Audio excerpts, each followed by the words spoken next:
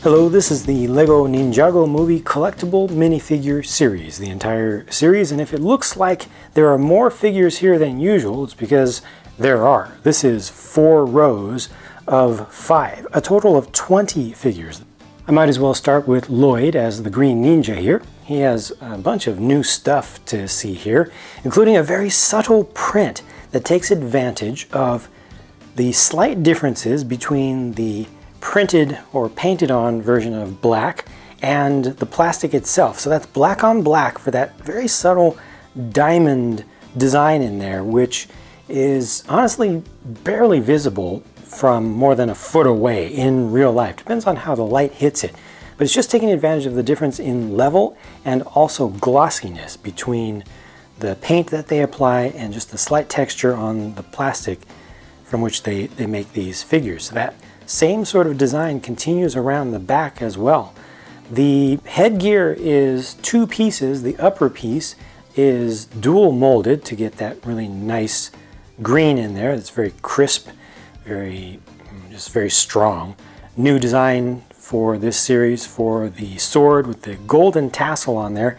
He also has the printed piece for the green mech dragon uh, head blueprint there. So that's just fully printed 2x3 tile, a relatively recent addition to the LEGO inventory. You can take this upper piece of the headgear off to leave just the, just the guard over the mouth, which is a little bit wide like this around the edges. You know, it doesn't fold over very well, so it doesn't look so natural, but uh, I think it's done pretty well. It's actually very easy to line this up. I thought it was going to be a little bit of a pain, but it, it's not because of how the, the rear knot just kind of slots into place, so it's very easy to get that to its correct position.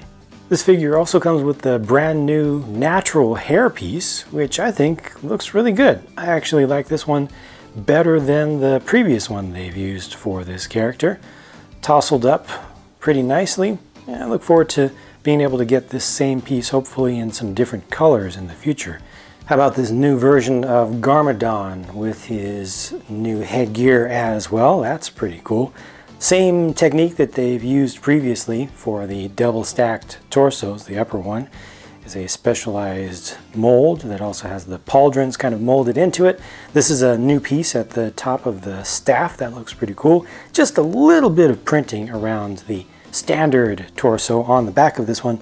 No printing on the back of the head because there's really no need, but there's a better look at the actual detail of his face. I guess, mm, is that an evil grin? It's kind of hard to tell with the, the real bad baddies. I do need to show you the rest of the print on that torso though.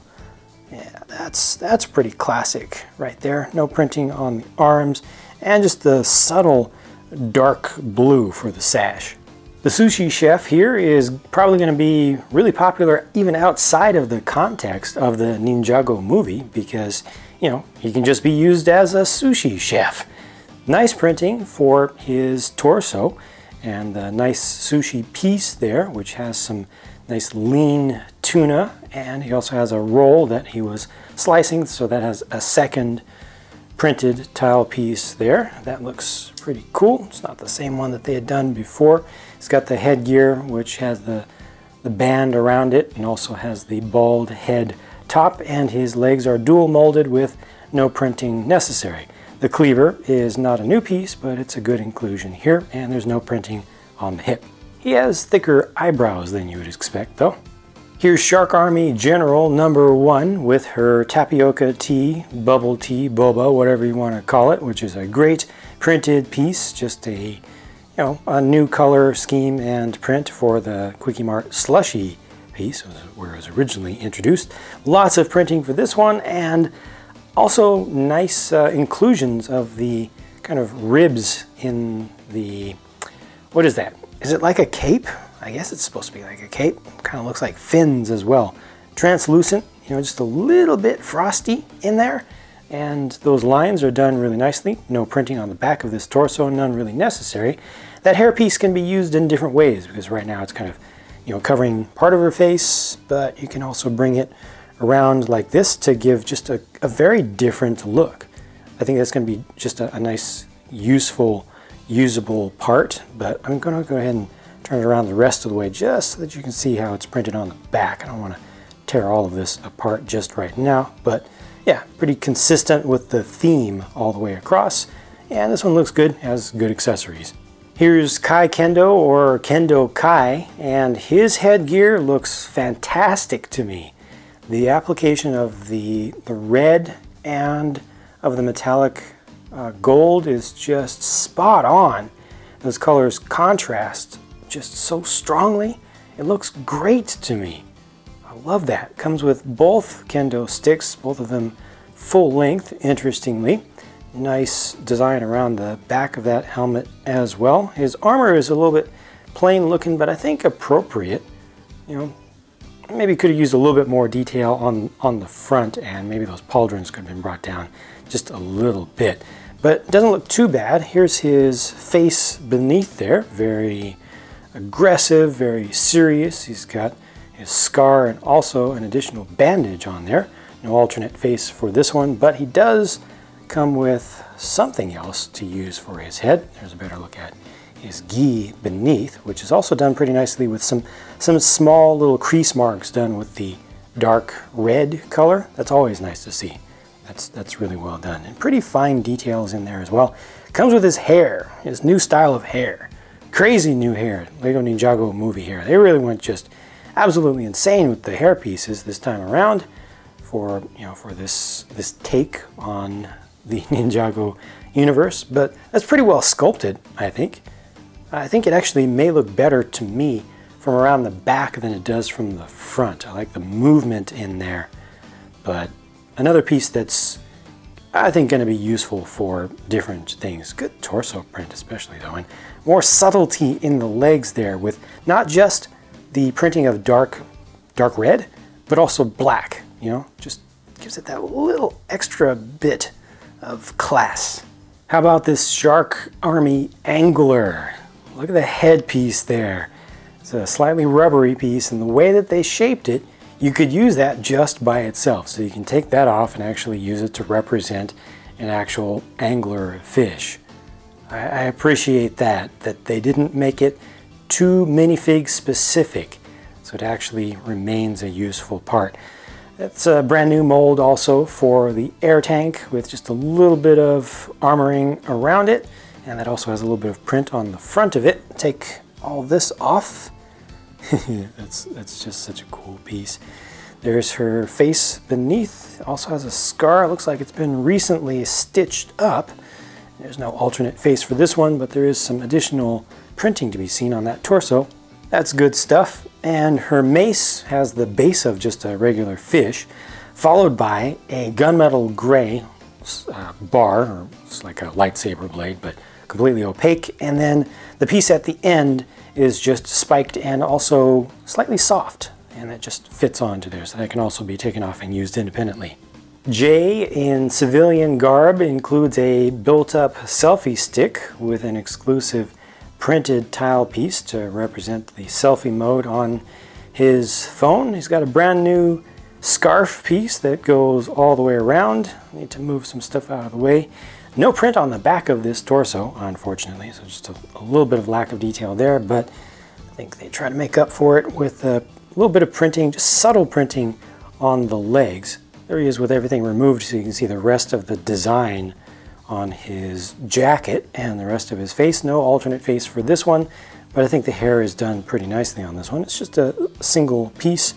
Guess you could kind of do stuff like that to change its look just a little bit as well. But you know, this is nicely, nicely molded all the way around, all tussled up and has good depth without being too crazy. This is N-Pop Girl who has all the bright colors. All the bright colors, including ample use of the spring or light spring green color, which I actually really like. And she's a fan, obviously, of Unikitty has the new color and print for the teddy bear there. Reuses that hairpiece with a new color scheme. The tutu also has bright colors going all the way around it. So you can see that it's a little bit different from one side versus if you come around to this side, there's that green again and a Pretty excited face. A little bit more to see with the eyebrows that come up even farther. So if you use a different hairpiece with this one that exposed more of the front of the face, then she ends up looking even more, yeah, excited and just uh, happy in general in her fandom. In contrast, here is the Shark Army Great White Shark, who is not white at all, is he? No, it's, it's an ironic Great White Shark, I believe. Looks like he's been pretty well burnt up in battles. He has run out of juice in his suit. It's showing that the battery power is pretty much gone. He's got all kinds of decorations on the front of that torso. I'll show you more of that as well. Black fish piece. I think that's the first time we've gotten that piece in black. It's got fire coming out of it. I, I guess that's supposed to be a flamethrower. So those are not air tanks on the back. Those are fuel tanks for the flamethrower itself. And wow, the eyebrows. Yeah, you know this guy is really, really evil. Anytime you see eyebrows that thick, it's bad news. And uh, he, he is wearing a tie though, so he has class, but uh, he's still gotten pretty burnt up, which I'm assuming is his own fault or, or a mishap that involves his own equipment.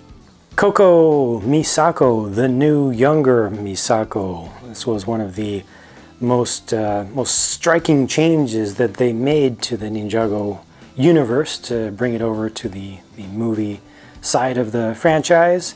A good looking figure though. I like the, the subtle or small fine flower embroidery on her jacket, which you know continues down to the, the hip piece where it's printed. Those are those parts are lined up pretty well.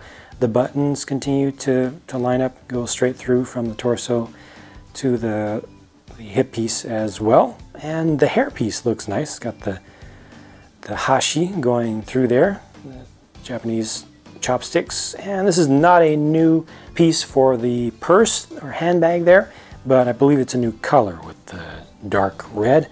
Not much else to see in terms of her, her face there. Not much of that was blocked and once again no alternate face.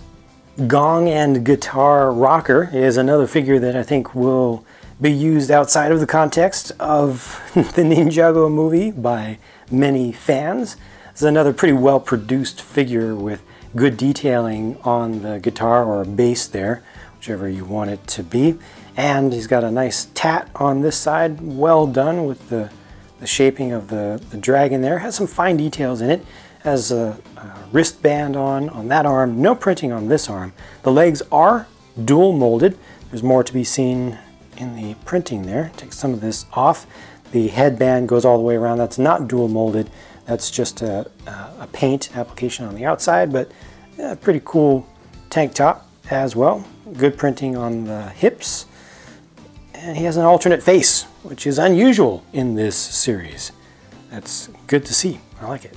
Here's another version of Garmadon with a different face. This is Volcano Garmadon, who comes with what I believe is an unprecedented four printed arms. Look at that. Two on this side are the same, two on this side are the same. Of course, those are different pieces. Four printed arm pieces. And he comes with the new mold of Bull, which is printed all the way around. That's in sand green as the base color, and that's just a beautiful piece. Really nice looking. It's a little bit off in the printing, kind of like the uh, Star Wars Astromechs tend to be with their, their heads. It wasn't lined up perfectly, but it still looks really good. And in real life, you know, oftentimes those things aren't lined up perfectly either with the, the glaze. So I'm perfectly fine with it. Comes with a single silver spoon as well. And a pretty good looking figure. Nothing, nothing really hidden here, nothing additional to be seen. But yeah, a lot of, a lot of good stuff here, or a lot of at least expensive, high-end stuff here.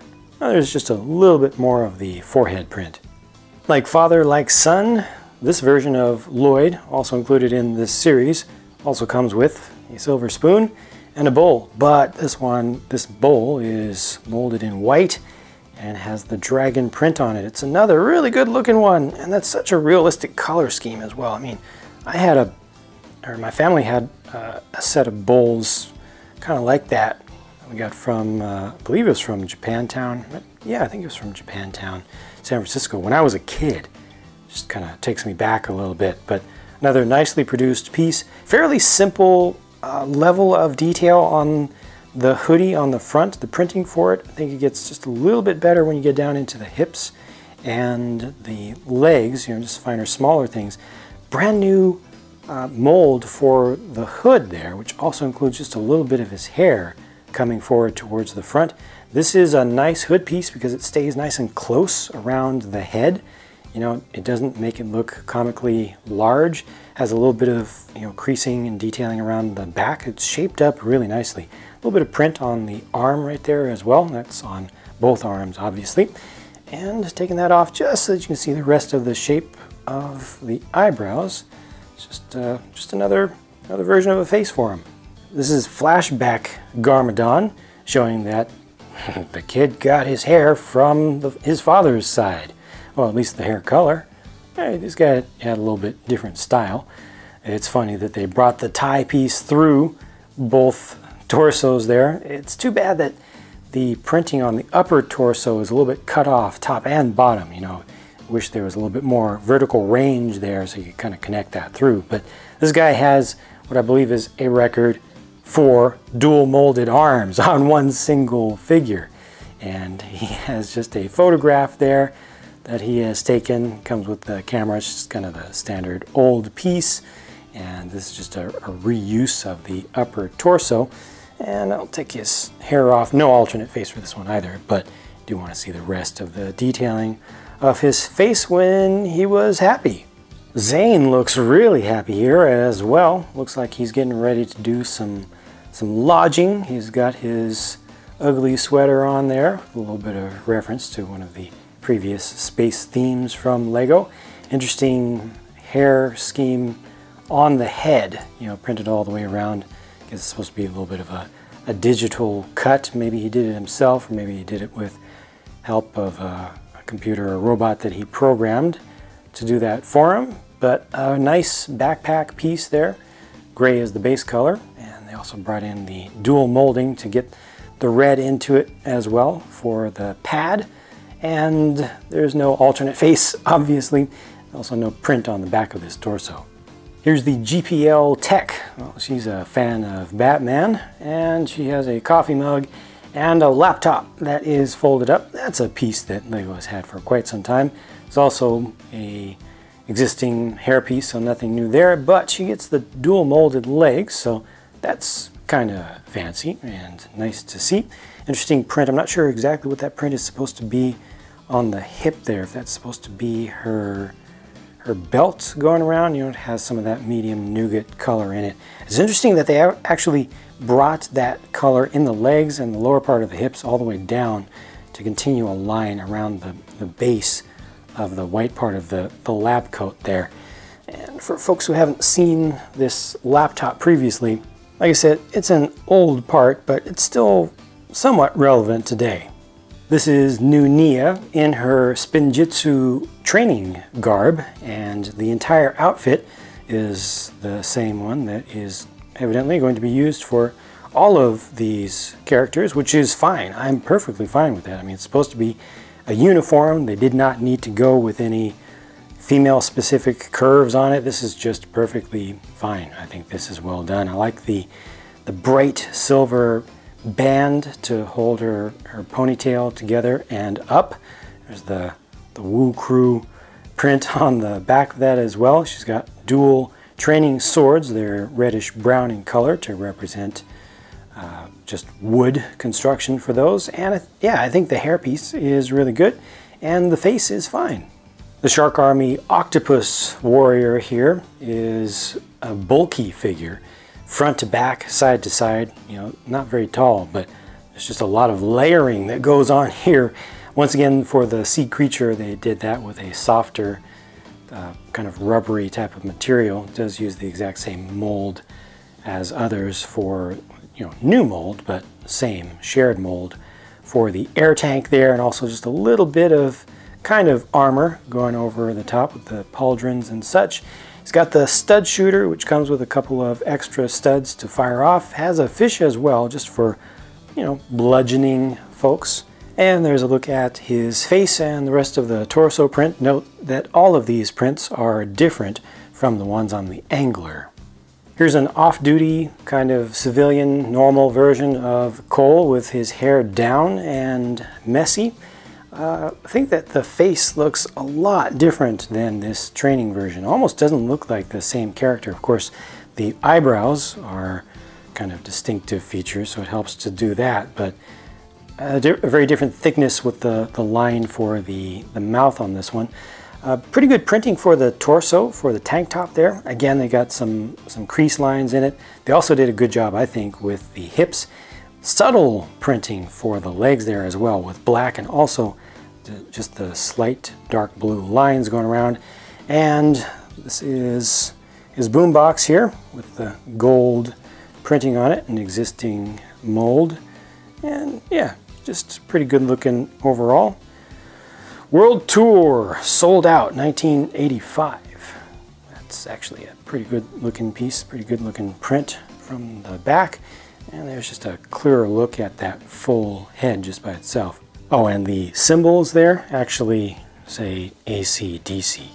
The last one I have left is Sensei Wu himself. There we go with the nicely printed cloth piece for the lower half and he comes with a big old box of cornflakes.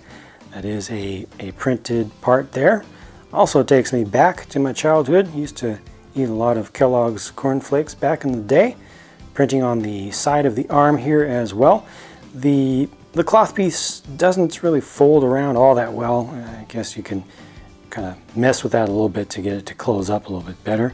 There's printing on the back of that one. No alternate face for this obviously, and a reused piece for the headgear that we've gotten before.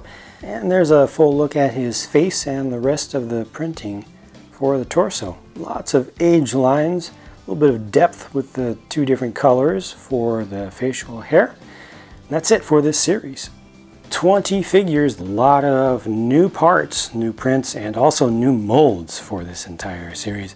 A lot of good stuff, a lot of variety as well. Overall, I think this is a very well done series, and I look forward to seeing how well these figures fit in to the rest of, of the sets and, you know, just kind of swapping things out and creating different parts of the movie along the way, in addition to creating new imaginative scenes.